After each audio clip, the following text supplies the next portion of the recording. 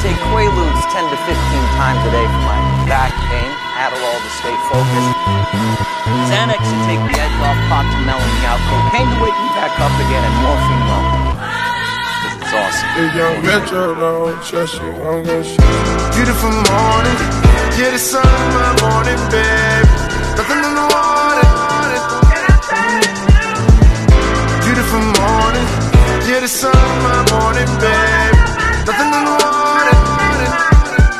Stratton, Oakmont.